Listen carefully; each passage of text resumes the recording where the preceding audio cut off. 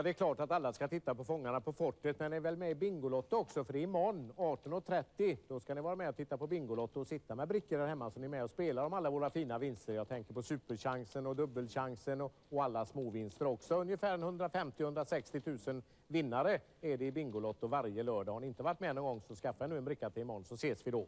Men nu ska vi ha rätt för oss när det gäller återvinsten här. Ska nämligen dra fem stycken som vinner 10 000 kronor här. 10 000 kronor. Här kommer den första. 10 000 kronor går till Eivor Edling, Tegnérvägen 11 i Kilafors. Så tar vi här nere nästa 10 000 kronors vinnare. Det är den här, 2,50 på första sidan. Torbjörn Olsson, Storgatan 22 i Sunne. Grattis!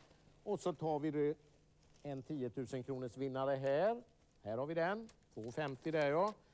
Tertu Edgren, Ljungvägen 7 i Mörlunda. Mörlunda. Och så försöker jag hitta så långt ner jag kan komma där. Där har vi en.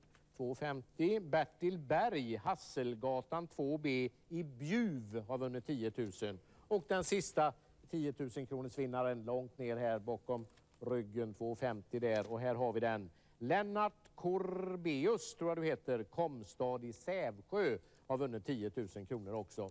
Många fler vinnare imorgon för då är det Bingolotto. 18.30 börjar vi. Och skulle detta vara nu lördag morgon, ni ser reprisen av detta programmet, så är det ikväll Bingolotto är 18.30. Vi ses, ha det så bra, hej då.